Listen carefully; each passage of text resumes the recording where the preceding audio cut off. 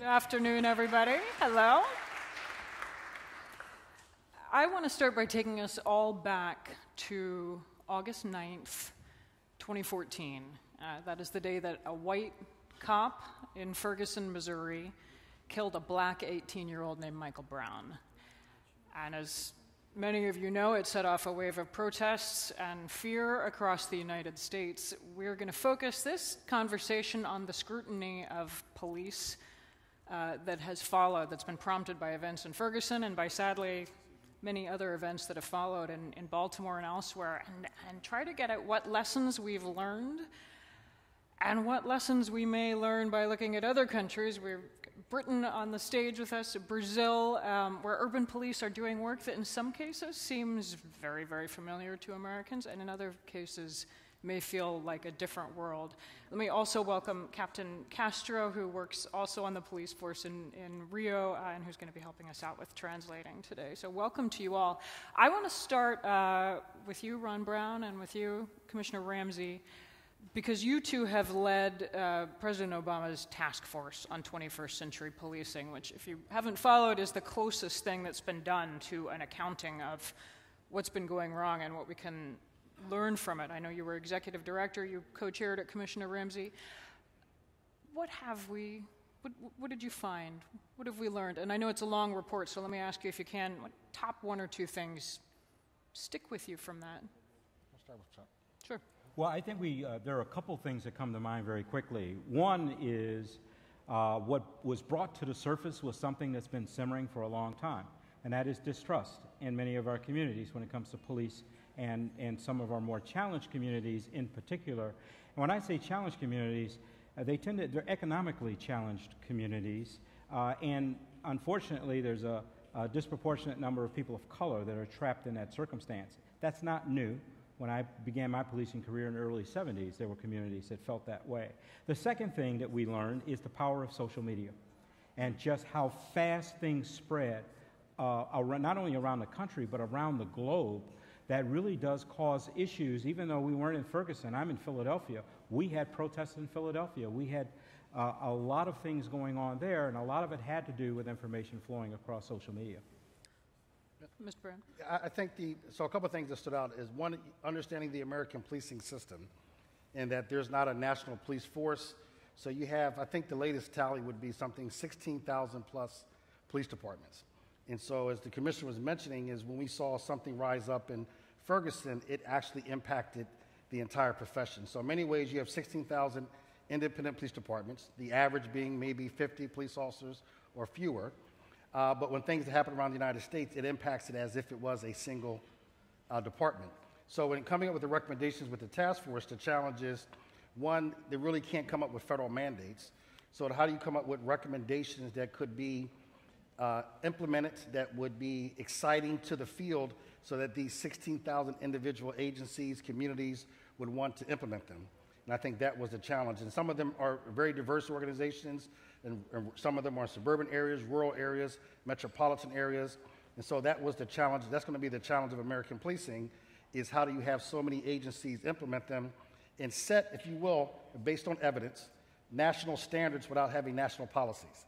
So standards that the profession can embrace, but at the same time, they're not necessarily a mandate uh, other than being a good industry, a good profession. Because as you say, you can come up with the greatest recommendations in the world. The police force, uh, police chief in Chattanooga or Tuscaloosa or Chicago, they don't have to, they don't have to pay any attention. No, and what, what, what Ferguson taught us is for many years, the challenges of policing, race and policing, issues of demonstrations were limited to big cities like Philadelphia.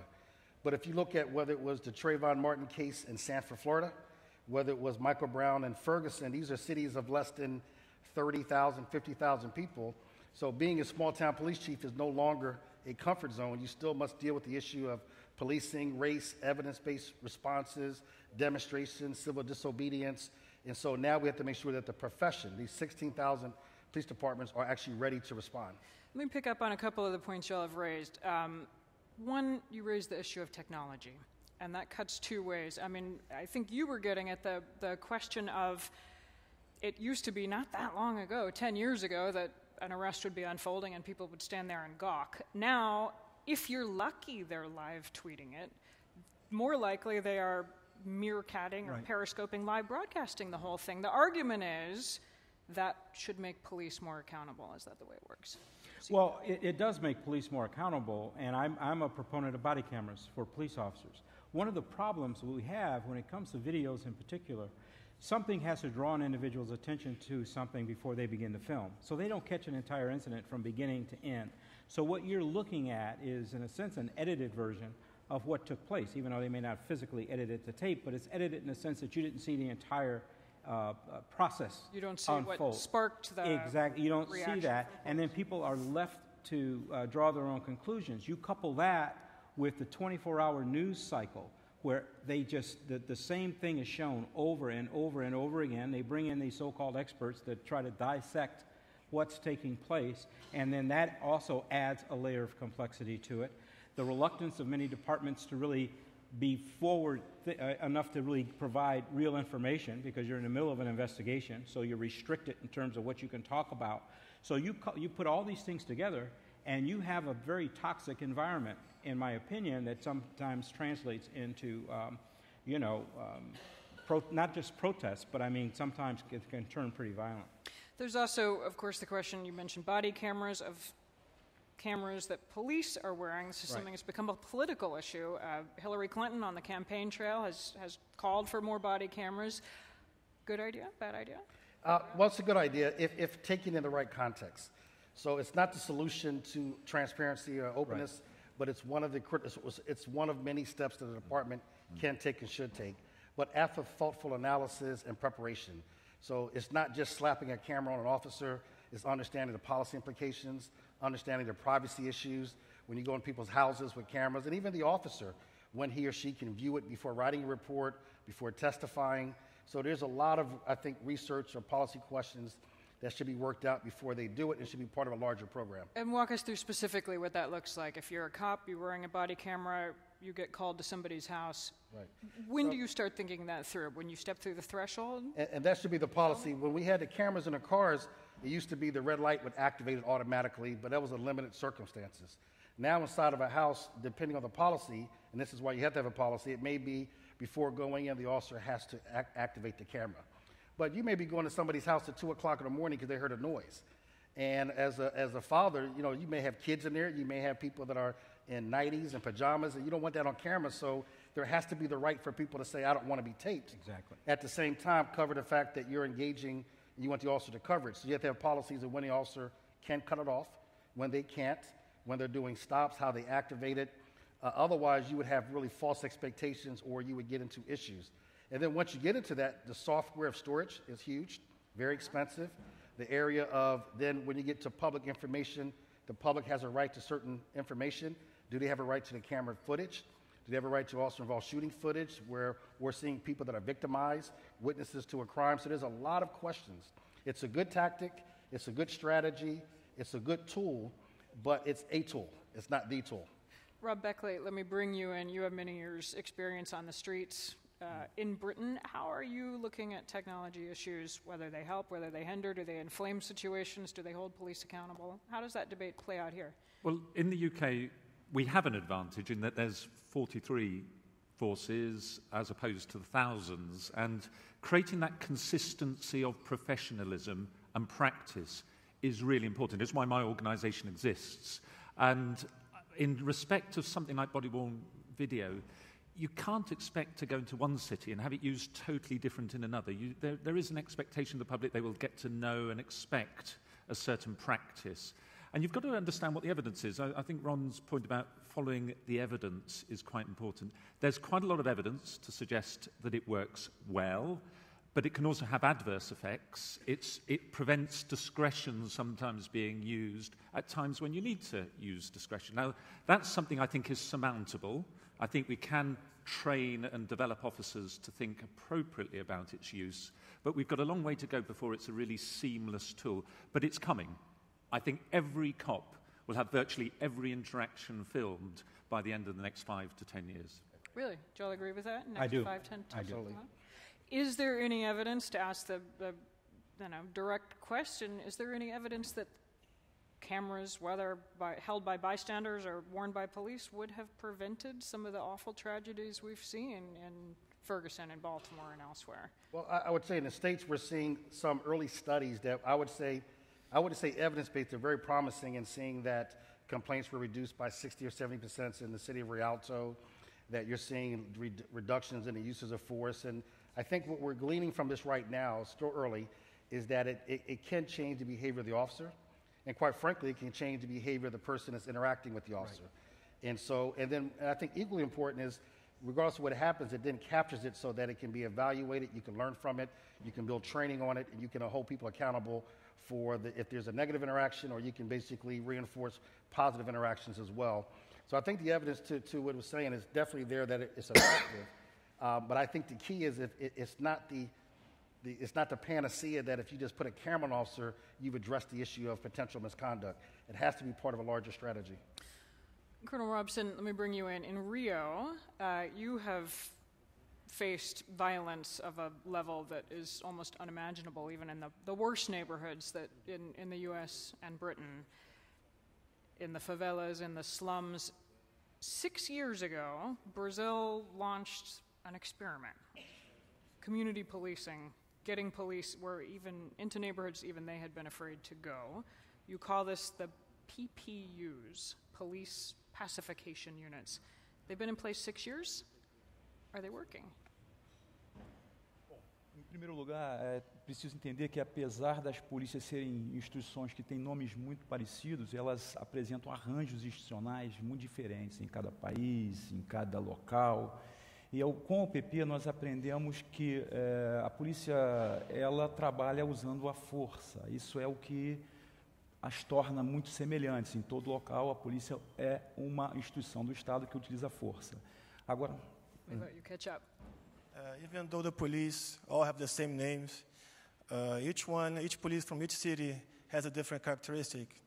And what we have learned from the UPPs, the units of uh, pacification police, is that we have the police work as a force of the state. And so, Can you hold your, do the mic a little bit closer to your mouth just to Okay. make sure they can hear you? and so we have learned if the more legitimacy we have, the less use of force we will have to do to, to prevent violence, especially in these places, the, as the favelas. But what kind of results have you seen? I have read the homicide rate has gone down in these years since the PPUs have been in place. Reports of some other crimes, violent crimes like rape, are up. é, houve um decréscimo de, dos crimes mais violentos. Mas o interessante foi aprender que não só a força, mas o para ser mais eficiente, a polícia precisa trabalhar com legitimidade. A legitimidade é o grande desafio de uma polícia no mundo cada vez mais diferenciado, cada vez mais multivocalizado, cada vez mais fragmentado, como é a ultramodernidade contemporânea. We did get lower rates on violent crimes, but the most challenging thing is to deal with uh, legitimacy questions in an ultra modern, contemporary world, which is much more divided and much more culturally different. That's the greatest, greatest challenge. So we can try to Em, em- em tese, é, uma polícia mais legítima, ela utiliza menos força. theoretically, a more legitimate police will have to use less force. E o grande desafio numa sociedade contemporânea muito multivocalizada, plural como a nossa, é, é reduzir os indicadores criminais, ao mesmo tempo obter legitimidade. Mas como obter legitimidade no mundo onde o consenso é cada vez mais raro? Esse é o grande desafio das polícias no mundo contemporâneo. That is the greatest challenge of all the great cities in the world to reach and build legitimacy, where each time we see more diverse cultures in the, in the city, especially. Issues that resonate, I know, with all of you. You've already mentioned the words trust and legitimacy and how you build those. One of the ways, I guess, you build those is through training, uh, training forces to, to do the job in a better way, in a different way than they have. So let me drill down on a couple of those issues. Um, a recent newspaper report, this is in America, uh, looking at police cadets found the average American police cadet spends an average of 58 hours at the gun range compared to eight hours learning how to de escalate a tense situation. Now, that's an average, and we take it with a grain of salt. But I read that and I thought if I'm a cop and I have gotten 58 hours of training with my handgun, and I've gotten eight hours learning how to calm everybody down, and I find myself in a volatile situation, which tool in my toolbox am I going to reach for? It makes sense. Are we training cops to do the job in a better way, uh, in a way that makes sense? Well, there's been a huge shift in, in, in how we train, and quite frankly, the focus had been on more of the technical aspects of policing than on the real uh, human uh, aspects, if you will, on how to interact with people. And I'll give you an example. Uh, when we go through our tactical training on how to make a stop of a vehicle uh, under suspicious circumstances, uh, previously our trainers had been just simply focusing on the tactics being used by the police officer, position of the car, their particular tactics of approach, and so forth. Now we have a separate trainer that's actually judging based on the interaction between the, the, uh, the driver of the vehicle and the officer in these reality based training scenarios. How do we de escalate a situation? Perhaps it starts off very tense.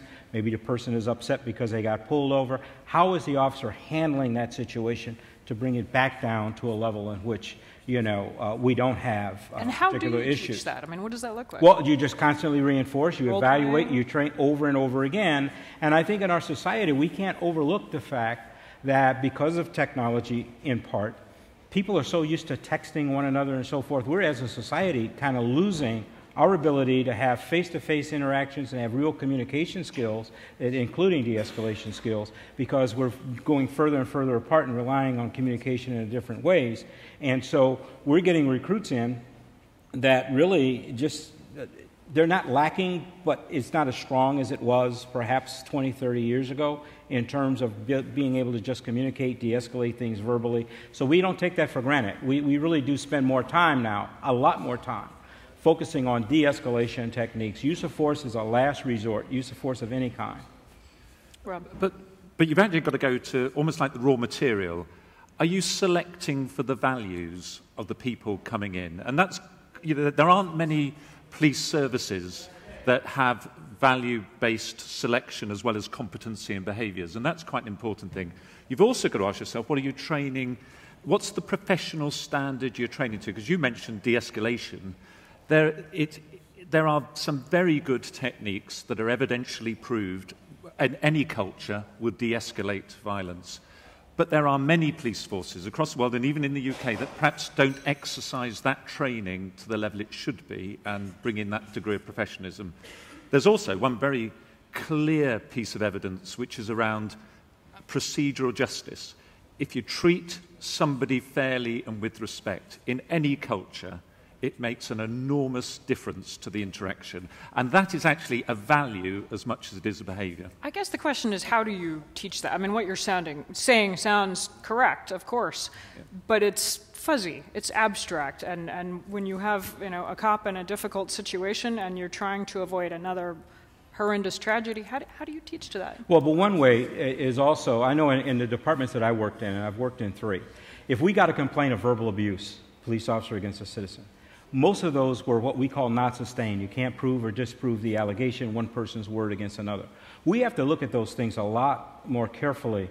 And when you start to see a pattern of behavior in an officer, take the appropriate action. Otherwise, we're reinforcing negative values as opposed to reinforcing positive values, and we're not going to tolerate that kind of behavior. And so there are things that we can do, and it, not necessarily large things, but small things. We talk about procedural justice, and we need internal procedural justice as well, because most police departments are very punitive. And if we don't treat our officers with respect, then how can we expect them to go out then and treat the public with respect? So there are a lot of moving parts to this, but it's all fixable and it's all doable. But it does start with training and education. I add one thing? Please. So uh, one of the part we didn't talk about, is, it's especially in American policing, is the culture of policing itself. And so a lot of these organizations are 100 plus years old, and they have this culture of enforcement being the number one reason for being the police. And so uh, one of the things that came out of the president's task force is this idea of switching from a warrior mentality to a guardian mentality. looking at your job, job being different when you're policing in a democratic society so that the outcomes goes back to the values. If your outcomes are measured differently, if you're now being evaluated on how you solve problems, you're being evaluated on not using force and how to de escalate. Your training has more scenarios that require you not to shoot than to shoot. Right. You're reinforcing it in how you promote, how you train, how you discipline, how you reward. Then you can build a culture that says that we value um, the, using force as a last resort, the least amount of thing necessary. As the colonel mentioned, as you increase your legitimacy, you will definitely reduce the need for use of force, which in fact makes officers safer. and so it, it is, it's not as abstract as it may sound, because when you look at a training program, whether it's uh, real-time scenario-based training, whether it's um, uh, what do you call it? Uh, uh, not situational training, but uh, simulation training. You can build scenarios that really test the judgment of an officer so that you can test them to put them in high stress situations that require them not to use force. And then when they do use force, to immediately de escalate because the threat is done and the person cannot say personally jacked up or emotionally involved. And you can evaluate that. You can incorporate implicit bias to see whether or not this, it's leaning towards you know, an implicit bias towards maybe people of color. So through evidence, science, and technology, the things that sometimes we shy away from can actually help us train even better. Well, this leads to a, a, an interesting question, which is how you measure success, how you reward departments, police forces that are doing this right. We have spent a lot of time the last year, understandably, looking at how badly wrong things can go. But how do you reward a force that's doing it right or recognize that? I mean, I gather just looking at crime rate is, you know, are they making more arrests? Is level of homicides up, down? That's not, that's not the best marker for how you measure. I'll start with that one. And, and for the mayors in here, it's, it's a tough one because in many cases, uh, especially in the United States, the evaluation of the government may be the crime rate. Now, how we collect statistics is not necessarily 100% accurate other than murder rates. But if you're really going to evaluate a police department, it cannot just be crime alone. And my favorite phrase is public safety can't just be the absence of crime, it must be the presence of justice. And so you have to measure whether or not you have low complaints, what your litigation looks like, the uses of force, community satisfaction on top of crime reduction. Uh, it makes a good department. Otherwise, if you simply say reduce crime, then as a former chief, if that's your goal, I can do that by saturating the streets with hundreds of cops, suppressing it, doing stop, question, and frisk at a very random rate and temporarily bring the numbers down. But what have I caused in my community? I now have communities that are disenfranchised, disengaged, disconnected, and you're sitting on a powder keg that can explode with one incident. But are police departments doing this? And I'm going to come coming back to you in one second, Colonel, but I'm going to throw this one to, to one of you two down here. The, the, you know, homicide rate is spiking in a lot of American cities, which puts more pressure on the force. One of the, to me, fascinating and sad, shockingly sad conclusions of the Justice Department investigation into what went wrong in Ferguson is the way they were measuring success in that department was um, revenue was fines collected it wasn't it wasn't even arrests it wasn't you know rewarding people for de-escalating it was are you are you i don't know ticketing people enough are you bringing in revenue I, in when I, I was a um, chief officer in Avon and Somerset, country, uh, part of the West Country, Bristol, and I think George Ferguson was here earlier. Uh, two of the measures for me. One was an independent survey that's done across all forces in the UK on confidence that people have in the police, um, including different communities, and it is um, broken down by, by relevant characteristics. Um, and also, the other one was satisfaction of people, including those who might have been arrested, who've come into contact with us. And that is quite hard edged because it makes you focus very much on what is the service like, uh, how are officers behaving, what's the feedback on that. And personally, I think those two measures in themselves, the confidence people have in the, in the police by an appropriate survey, is one of the most powerful measures to influence police behavior. Part of the challenge that I think is probably common to all of you is overcoming a long history of mistrust. I mean, in Philadelphia, there is a, a, long and sad history of police violence and corruption. You have a lot of history to overcome when you're trying to build trust in that city between the police force in the community that you're trying to engage with. Well, you do, but I mean, you know, I mean, there's baggage everywhere, but you've got to find a, a point in time when you start to turn it around and, and start to establish the trust that you do need.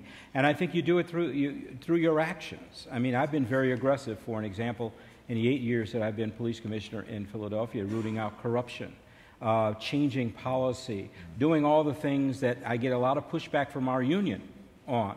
But quite frankly, it has to be done. And so at some point in time, you've got to be able to move forward, and eventually people see that you're trying to do uh, the appropriate things, and the trust starts to build.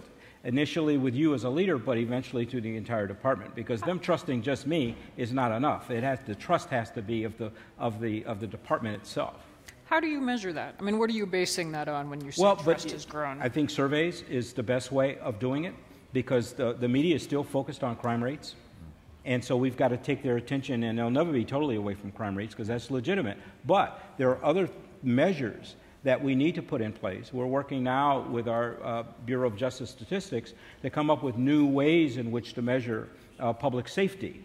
And that would include housing, includes poverty, includes education, graduation rates, and so forth. What are those factors outside of just policing that really influence crime and really create a safe, secure environment for all the residents. And it's not just policing. Uh, so we're in the process of trying to come up with new measures that would be used in addition to the tr- uh, traditional crime rates.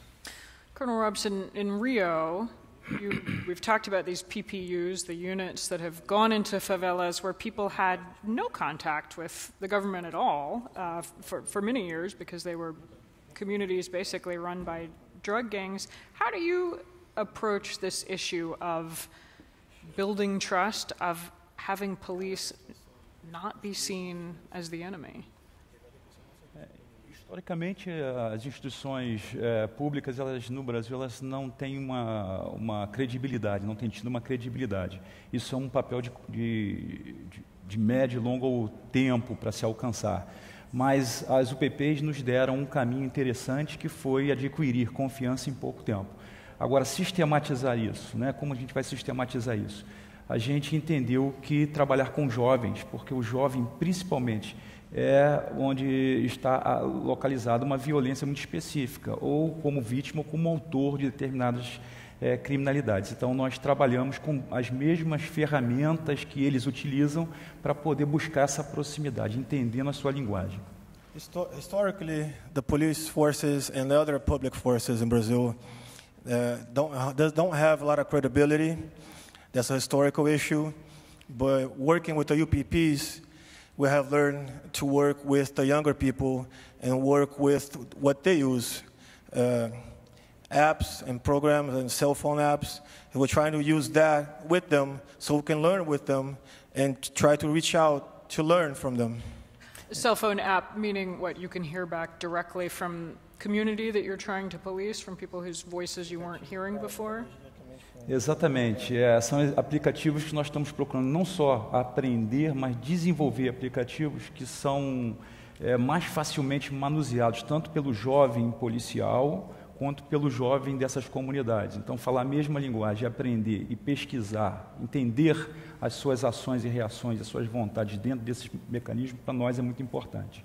we not only use the apps that uh, the young people normally use, but we're also trying to research and try to find new apps that we can we can program so we can get back what we want to know also. So not just they communicate with us, we communicate with them. E existe um fenômeno também, porque dentro dessas comunidades, eh, essas pessoas, esses jovens, utilizam muito as redes sociais. As redes sociais são muito bem exploradas por ele, a ponto de ameaçar até líderes criminosos locais. Então há um respeito para essa voz que está nascendo e a polícia precisa aprender a fazer isso. In these communities, there's a lot of use of social networks and social medias, especially in these communities in the favelas.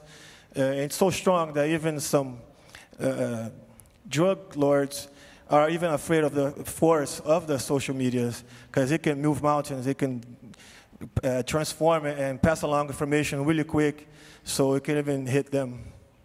But Do you have, uh, I'll, I'll turn this question to you, and I'd love to hear the rest of you weigh in, it, weigh in on it as well. I- Can you tell us a story? Can you give us an example of a specific situation that turned out differently because your police were in there in the community that might have played out differently six years ago before you launched this initiative? No modelo anterior, a polícia entrava sem respeito. É, nesse modelo atual, embora haja muitos problemas ainda pontuais para serem entendidos, serem resolvidos, é, os policiais eles aprenderam a interagir melhor a partir dessas comunidades, inclusive comunidades virtuais, onde as, os jovens eles se aproximaram dos policiais, os policiais venceram algumas resistências e os indicadores criminais eles desceram.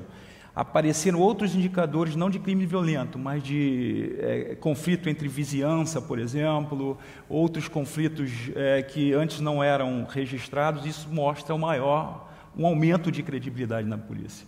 In other moments, the police will go in with no respect from the local community, where now Police are going in with no respect. Yes. for it. before beforehand, and now in the communities we have the UPPs, we see that changing. We see more respect. We see the lower crime rates, and we now see some other police uh, police reports reports of crimes that we didn't see before, such as neighborhood neighbor fights or uh, so- wife and husband fights that nobody used to register because they were too afraid to come to the police. So now we're, we're, we're starting to grow a credibility in these communities. Maybe spin that out to the rest of you. It, it seemed, I mean, what you're doing there is a, a model that sounds like it's having successes for you in terms of community policing in Brazil. It seems like in the in the year plus since Ferguson, we in the U.S. hear so much about community policing, community engagement. They're the buzzwords of the moment, but what do they actually mean? What do what do you need to do to change things so that we stop having incidents where it feels like there's a new one in the headlines every week? Uh, your, your point about community policing, for a start, it's very firmly evidence based. It's very clear, if you look at the research and the work, that officers embedded in communities works. And I, I have an example. I mean, 2011, when there's rioting across the UK, Bristol uh, was, uh, you could see the tensions rising rapidly, as in every, every other city. Uh, we, we saw what was happening in London. We deployed uh, instantly all our community officers across uh, the city and also monitored social media um, uh, uh, and, and right from the start. And it, you know, Bristol was affected, but not nearly as much as other cities. There was a lot of de-escalation going on um, by those officers who know the communities. It's worth its weight in gold if you've got officers there solving problems with others in the community and other agencies. But it definitely works. The, the challenge for policing is it's the one thing that we often disinvest from to just deal with the firefighting or, or, or the big crime. And prevention is not easy to measure. And that's the problem. We can't always say categorically, we did that, and we know because of that there's X less crime or there's X less homicide. And that's the challenge of public policymakers investing in prevention. It's hard to measure the, the impact of a cop out on his bike every day and mm. that neighborhood's safe and what's the cause and what's the effect. So, so my office, I mean, at the Department of Justice, is all about advancing community policing nationwide. But the interesting thing about community policing, it's one of those elusive terms. Mm. And so if I were to ask 16,000 police chiefs, I'm, I'm likely to get thousands of different definitions. And so I think in a simplistic form, it's really when the community and police are co-producers of public safety. That there's mutual responsibility. It's not just the officers have the responsibility, of the police department, but the community. Now, quite often the challenge in real community policing is how police departments take it beyond a meeting and, and actually engage the community, community in meaningful ways where they're actually participating in not just reporting crime, not just critiquing the outcomes of it, but as a part of the solution. And we're seeing that as I track it around the country, especially out of the task force, places like Philadelphia with Commissioner Ramsey and others, you can see the effectiveness of community policing when they are truly engaging the community. But it takes leadership because you're going to get pushed back. It's, going, it's not easy. It's not, a, it's not an easy strategy to implement. It's one that requires, uh, one, the most power you get is by giving it up because now you're sharing it with the community, and rightfully so. It's kind of the Sir Robert Peel principles that the police are the public and the public are the police. We're just the ones that are getting paid to facilitate crime reduction, but we can't do it by ourselves. And I would, I would totally agree with what's been said around that. You know, we talk about trust and legitimacy. You build that one contact at a time. Uh, the individual officers and individual citizen and the interaction that they've had, because that's really how people view a department based on whatever kind of personal contact they've, they've, they've had. For an example, we, uh, since I've been in Philadelphia, all of our police recruits, when they leave the training and they go out in the field, they start on foot patrol in the most challenged areas of our city. And they spend at least six months, sometimes longer, on foot patrol. And why is that important? Well, they, they learn that in the most challenged neighborhood, there are more decent, law abiding people living there than there are criminals. You don't see that when you're driving in a car going from a 911 call to uh, 911 call, which is our emergency uh, uh, number. You miss that. You tend to just deal with issues and problems and nothing in between. And people, in turn, get to know those officers. Now, when those officers leave foot patrol, you wouldn't believe the number of emails I get. Don't transfer Officer Davis. Don't transfer so and so. Don't leave him here. Why? Because they've developed a relationship. They've known him, they, have gotten know, to know that officer as a human being, as a person, and he's gotten to know them. And it makes a tremendous difference. But you have to really provide time and opportunity for officers to interact that way. If you don't, then you're missing a big piece of this. We um, have not talked much about race on this panel, and that is the elephant in the room when you're talking about some of these recent events in the United States. To what extent, and I want to hear from each of you on this, how frankly do cops talk about this, you know, in the lunchroom, and to what extent can you train for racial bias? To what extent is that happening? Let me start with you, and then I'll take it over here. So it, it is, um, we don't talk about it enough. In the United States, we should because it's the history of race and policing that is creating the generational mistrust. And the more we talk about it, what matters is the context in which we talk about it. If we talk about it from the sense of learning from past mistakes, if we talk about it in the context of implicit bias, the subconscious bias, we see that we get a lot of traction and people can understand the, the biases that we have. When we do it in a very accusatory manner, then you shut down communication, it becomes basically uh, then a labeling of every police officer as being racist, which we know is not the case. Mm-hmm. And so it's one of those positions that we need to have the conversation, but it needs to be in the right context, and it needs to be that we're focusing on advancing forward so that we can all deal with all of our implicit biases, and there is no, there's no exceptions to it.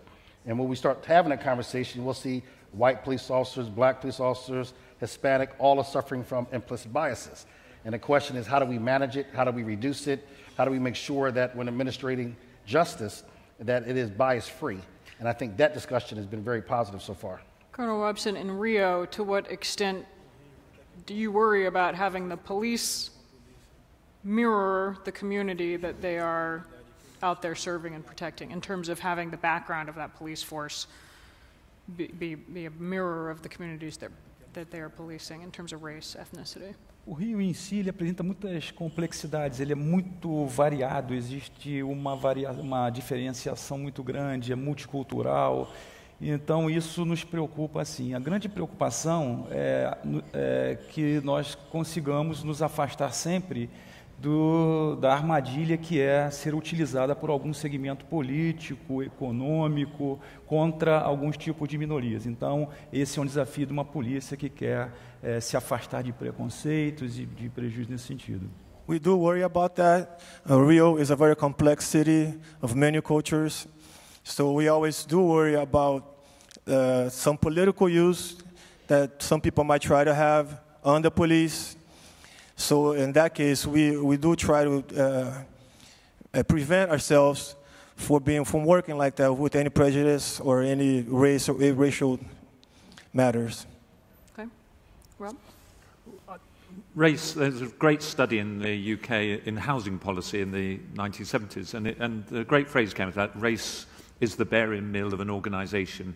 It, it, and the barium meal being the old way of diagnosing cancers, it highlights where, where things are rotten in the system because you can measure it, you can see it. And I think we must always bear that in mind. We've got a lot to learn from how we deal with race, how we understand unconscious bias, institutional racism which still exists, issues like that are at the heart of an organisation like the police, and the police has to face it and deal with it head on.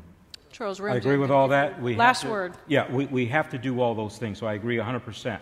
But you can have a diverse workforce, you can, you can have all these discussions, but if your officer's behavior does not change to the point where they respect the people that they serve, then you're going to still have problems. It does boil down to respect, irrespective of the makeup of your department, although that's important.